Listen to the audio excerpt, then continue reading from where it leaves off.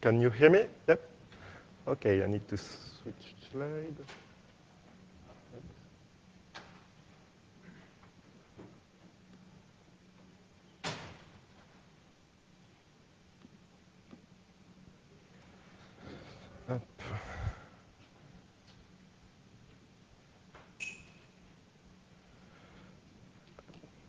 Okay, so thank you. Yeah, I'm really excited to be here to present this work because it's, work I've been working on like for like already a few years, and I've finally managed to get something that I'm quite proud of. And in fact, I think it has opens a lot of possibility to reason on impure higher order programs. So yeah, I would like to talk about that now. So what I'm going to, to present here is this work about how to reason about contextual equivalence of programs written like in a language with references. And so first, what is contextual equivalence? So there's a standard way to present it, but I'm not going to choose this one. I'm going to choose like a different presentation. Maybe that will talk to more people, which is in a way, we take a signature, so a list of function and wizard types, like an uh, API, and then we've got two modules that, that are going to implement this signature. And the question of contextual equivalence is to decide, is there a program that can distinguish those two implementations, those two modules? And what does it mean to distinguish the two modules? It means that can we observe a, a distinction, a difference uh, of the two programs? And we want to be able to do that while respecting the signature, which means that if there are some stuff that are private, we're not supposed to observe them. And so let's look right now at an example. So I will use an OCaml syntax to, to write my, my examples. So let's consider a signature with two functions, an increment function of type unit or unit, and a getter function of, of type unit or int. And then we've got those two implementations. So the first one, what does it do? Well, it's going to uh, first allocate a reference, and then they will have the two functions that implement the signature. The increment function is indeed going to increment the counter, and the getter function is going to return the value. And then there is a second implementation, and in the second implementation, what we do, in fact, the increment function is not going to increment it, it's going to decrement it, but that's okay, because at the end, the getter function will return not the value of the counter, but the opposite value. And so we are fine, and those two implementations of the signature are indeed contextually equivalent, but this is because C1 and C2 are private because they do not appear in the signature. So we cannot observe them directly. And so yeah, this really the idea of contextual equivalence, which means that we can have interesting equivalence between programs because we cannot observe everything. And so I would claim here that contextual equivalence is the right modular notion of equivalence of programs. And by modular, here I mean that we can reason an open program. So it means that we can really decompose like a huge program into small pieces and then reason on each pieces individually. And for example, we can also reason on each module and check that uh, they are uh, uh, equivalent. And so contextual equivalence has been like studied like for decades now, and it's really the golden standard in the semantics of program languages. There is like all this work around full abstraction, building full abstraction models, which means that we try to build a denotational model where equality in the denotation correspond exactly to contextual equivalence. And it's really hard problem, and but really an important problem. So in this talk, I will consider a language which is called RefML, which is a fragment of ML, of OCaml, for example, which is a call by value simply type lambda calculus with unbounded integers and higher order references. So reference is a memory cell that we can allocate, and uh, where we can store like either integers, other references, other locations, but also we can store function into it. This is what the high order here means. And so let's look at another example of non-equivalence this time. So we still try to, um, to implement a signature with the increment function and the getter, but the increment now is going to be a bit different because it will, is going to take as an argument a function, and it will first call the function, and then after it will increment the counter. This is the first version of the signature.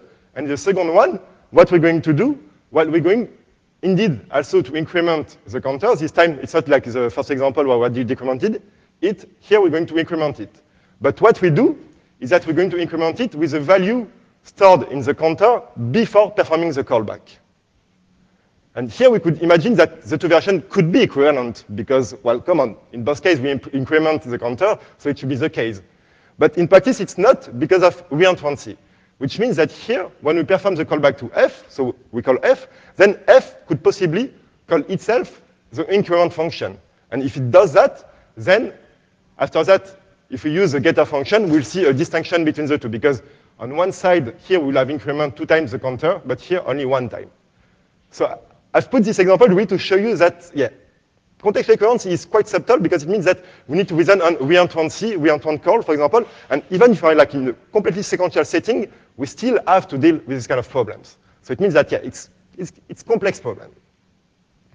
And indeed, there have been like 30 years of work, like there's a huge literature on how to prove this kind of example. So I'm not going to talk about all, uh, all of this work. There have been some that are going to be really, that, that have been really influential to me, so I will mention them later.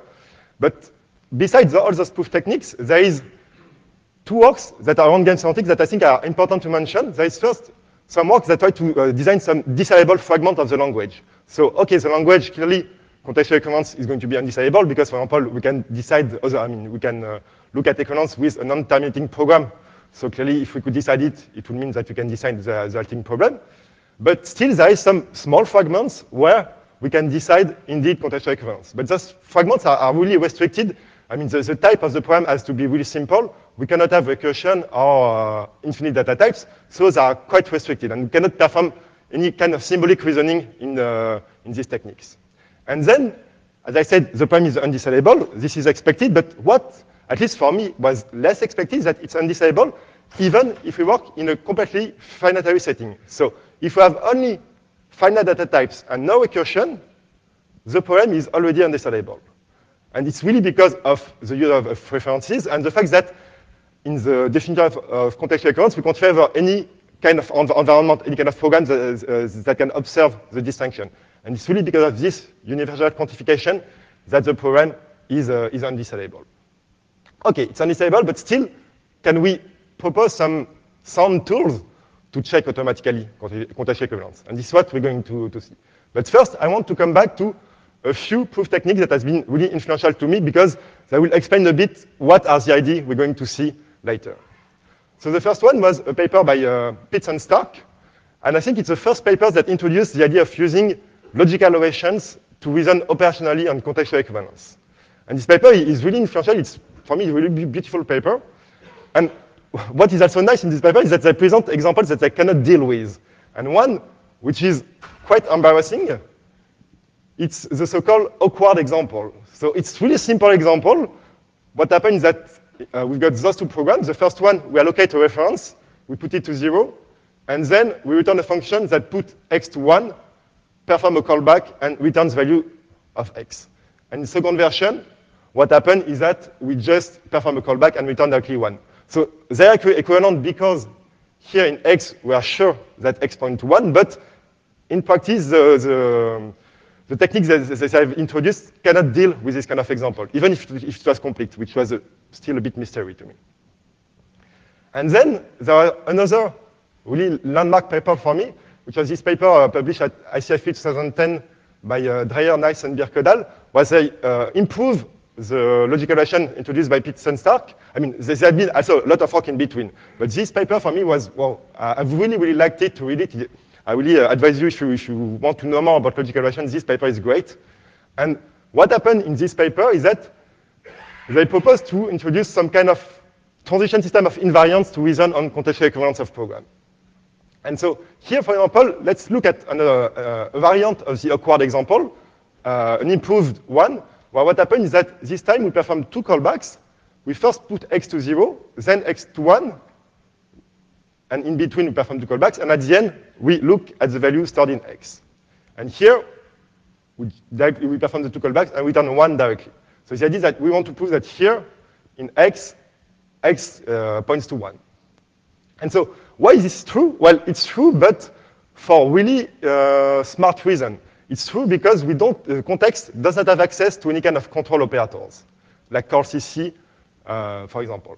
And because what happens that here, when we perform a callback, this is the second callback, we could perform a reentrant call and call again the wall function. And in this case, even if x has been put to 1, it could be put to 0 again.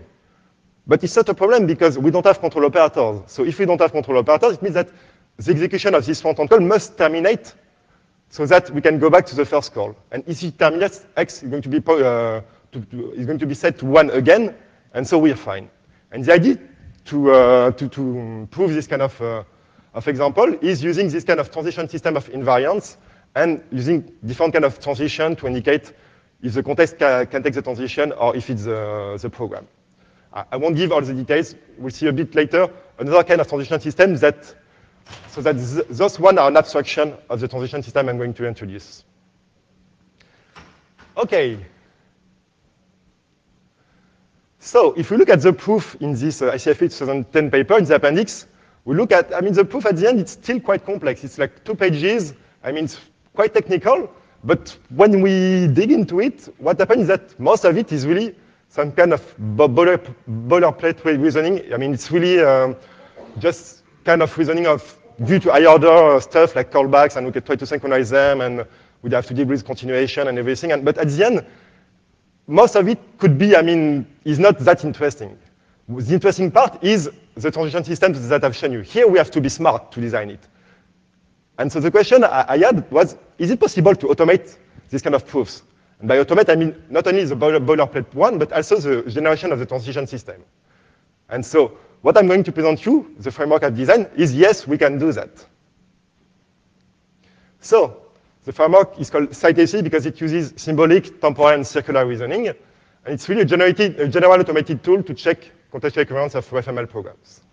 And so, okay, this slide is maybe the most important slide of the talk. It's what, we've, what I've done in this, uh, in this uh, framework is to reduce the problem of contextual equivalence to a non-reachability problem of some kind of failed state, is what we, we call them, in the transition system of memory configuration. And this transition system is interesting because there's no higher order value anymore. Like we only handle uh, integers and location into it and no more lambda abstraction or anything. So it's really high uh, first order. We use non-determinism to represent all the possible behavior of all context, and it's automatically generated. And the idea is that the path to the failed states really correspond to possible contexts that can discriminate the, the, the two programs. And after that, in some cases, not all of them, but in some cases, you can reduce the non-reachability of failed states into some kind of uh, satisfiability of some constraint horn clauses. And this has been implemented. You can go check this uh, GitHub page to, to, to find the tool and test it if you want. So here, an example, so uh, I won't spend a lot of time on, on it, just to, to, give you an example of the kind of transition system we, uh, we, uh, we're dealing with. So this was the version, the first example I've given you of the counter with the increment and the getter function. I've just re rewritten it so that it's more apparent what is public and what is private. So here we return the increment and the getter as a pair, but C1 is still private.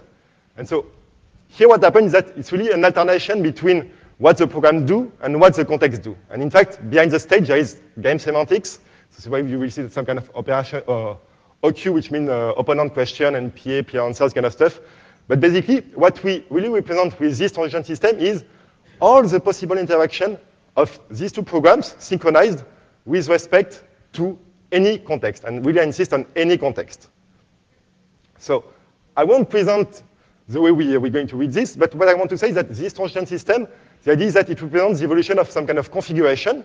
In the configuration, there is the two heaps where the references are stored, but there is also a stack to deal with well bracketing because we don't have control operators, so we need to be careful about the, the, way, the way it's going to work.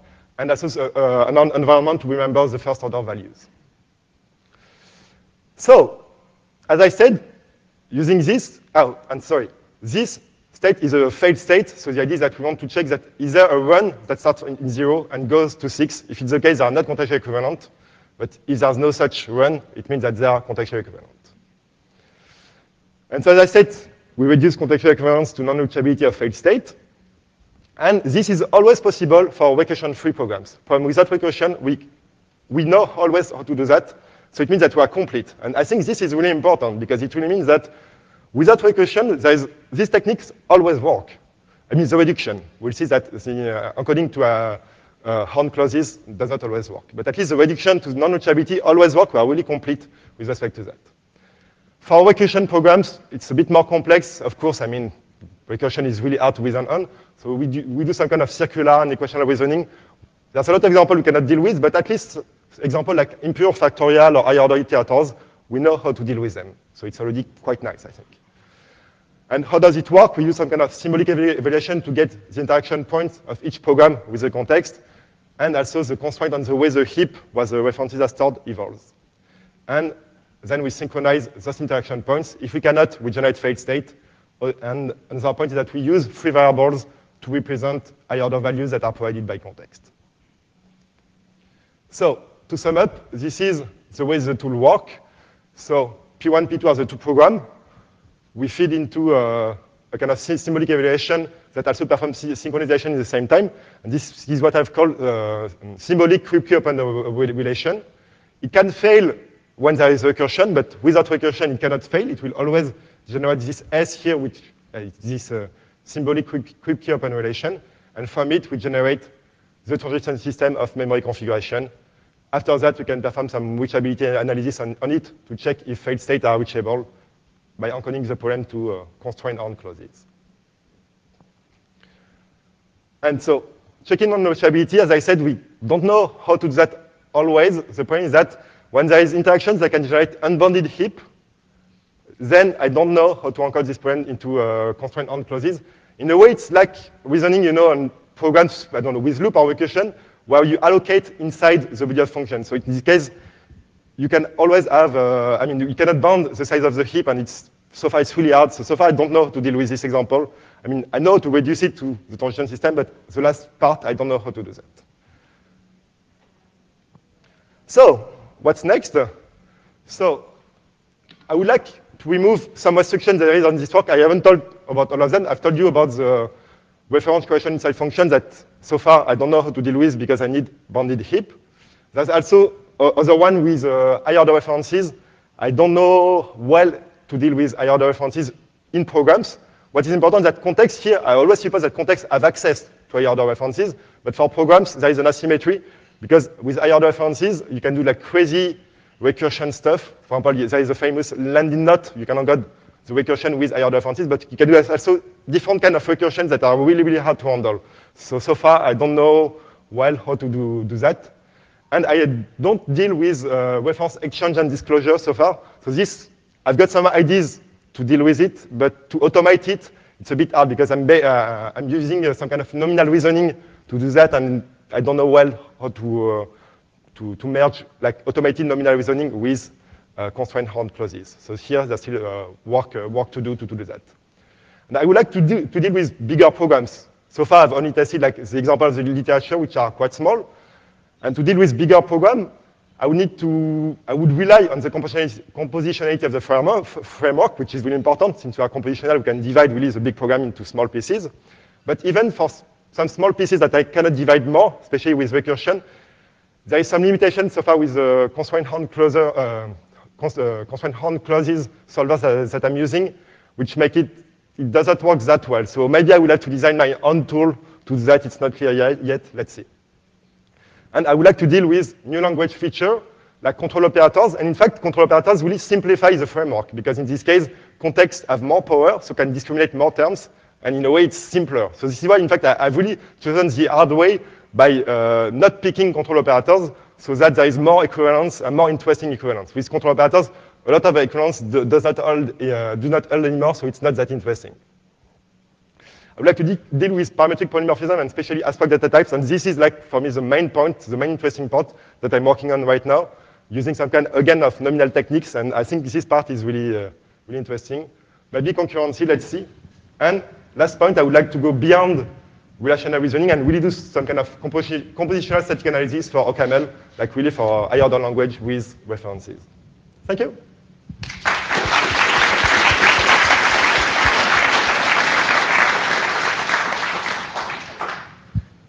Uh, thank you, Guilhem. Um, so uh, let me start with a, a, question on Slido. So um, are there, is there any practical use of this, for example, in the OCaml compiler? No, uh, not yet. I mean, we, we, we're not yet there. We, uh, we're just dealing with small examples. But later, yeah, ideally, it's true that if you could like uh, check automatically uh, program transformation with this tool, like check that the transformation of program indeed uh, preserve contextual equivalence, this would be really nice. But we are not there yet. I think there's still a lot of work to do before reaching this point. Yes, so uh, thanks for an interesting talk. Uh, first of all, thank you for engaging so deeply with our uh, ICFP 10 paper. Um, that's a that's an honor. Uh, something wasn't clear to me. Are you actually um, inferring the transition systems for these examples, or do you have to put in? Do you have to the, uh, do you have to explicitly state a transition system Oh, no, no, I- and then have the pro, uh, the proof inferred? I'm, infer- I'm inferring them. This, those one are really uh, inferred automatically. Okay, so then for the examples in the ICFP 10 paper, how many of those can you infer the proofs for all the one, for all of them or all of them with some restriction or Uh, which? There are some that I cannot handle, the one with uh, di- divergence. Yeah, right. Because I, I could handle them, but it will complexify so much. Uh, Yeah. and I don't think they are really representative of what is interesting No. deferred divergence. Yeah. So I don't handle them. And uh, the one with uh, polymorphism, abstract data types, not yet, but hopefully soon. And I think most, the other one, yeah, most of them I can handle them. The callback with lock I can. Uh, And the well-bracketed state yeah, change. yeah, yeah, that's one no problem. And I can also deal with uh, programs with recursion, like factorial, uh, impure factorial versus pure factorial. This I can deal with them also. Very cool, thanks. Thanks. So there is another question on Slido um, uh, by Kiot. Uh, how much of SyTeCi could be integrated in an interactive proof assistant? That's that's a good question. Uh, so in fact, I, am thinking about that, especially for the um, reasoning on recursion, uh, problem with recursion. In this case, well, clearly, I mean, we can have automated tool, but it will be interesting, like the, to have some uh, feedback from the user to say, okay, at this point we can synchronize rec- recursive calls, and in this case, I would like to integrate it to, with an interactive uh, theorem prover, but it really relies on um game semantics behind the stage, and formalizing game semantics in uh, interactive theorem prover so far has not been done yet. So it's a tough question, and uh, I would like to do that, but I don't have yet the tools. Maybe soon. I've got some ideas using interaction trees, maybe. Let's see. But uh, but yeah, it's a, it's a tough question.